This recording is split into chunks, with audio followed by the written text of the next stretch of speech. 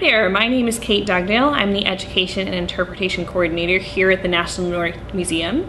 Since 2004, July 10th has been the National Art Day in Finland. July 10th was chosen to celebrate the birthday of Finnish artist Helene Schjerfbeck. Right now at the National Nordic Museum, we have on display Among Forests and Lakes, landscape masterpieces from the Finnish National Gallery. So what better way to celebrate Finnish National Arts Day than by doing a landscape project ourselves? We're also gonna be doing a little landscape project inspired by pop art, which is an art movement from the 1950s. So this is what we're gonna be working on today. Here's what you're gonna need for this project. You will need a piece of paper to draw on. I have a piece of multimedia paper, but you can use printer paper, you can use cardstock, you can use craft paper, anything you have available will work just fine. You're also gonna want a pencil, you'll want a black marker and then you'll also want something to color with. So I'm gonna be using colored pencils today, but you can use markers, crayons, you can even use watercolor or other paints if you want to. It's totally up to you. So the first thing you're wanna do is draw a gentle wavy horizon line. I'll draw it and then I'll show you what I've drawn. Doesn't have to look very perfect, just a wavy line like this. Next, we're gonna draw a gentle wavy foreground line. So you can see in this one, there are two of these wavy lines. It's the horizon line and the foreground line.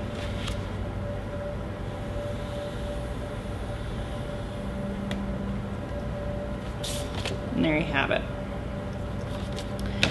Then you're gonna draw some details. So for this one, I drew some trees and some flowers. I think I'm gonna stick with that same thing to really make it look like a landscape add a couple of trees in here.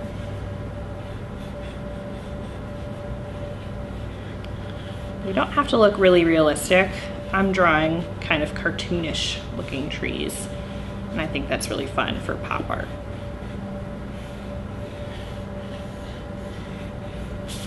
I have a couple of trees there. And then I'll just add some flowers down at the bottom.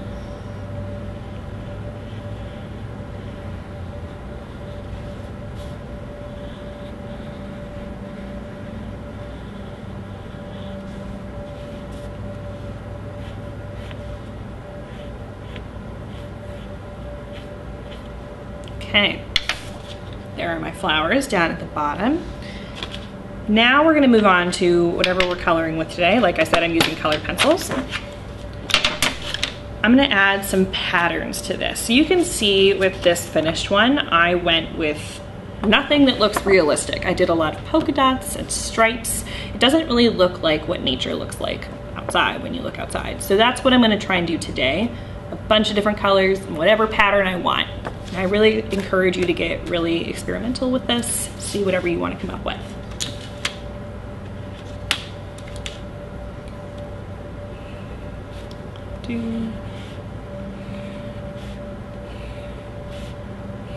In case you haven't heard of the pop art movement, it kind of is supposed to look like comic book art.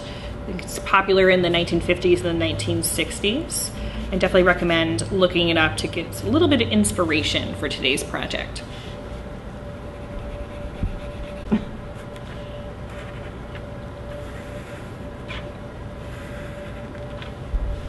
So now that I've drawn all of these patterns, looks like this. The final step for this is to trace all of where you put that pencil with this black marker. And that's gonna make all of the things in your drawing really pop like that. So that's what we're gonna do next.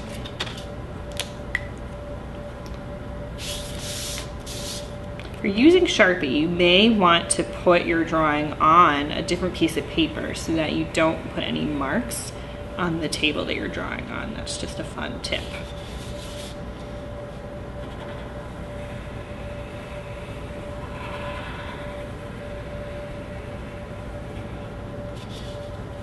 And once you have it outlined with that black marker, all of those details in your drawing are really gonna pop out because again, this is a pop art inspired landscape. And there you have it, you have your own pop art inspired landscape drawing. And I hope you get to come to the National Nordic Museum to see Among Forests and Lakes, landscape masterpieces from the National Finnish Gallery. Thank you, see you next time.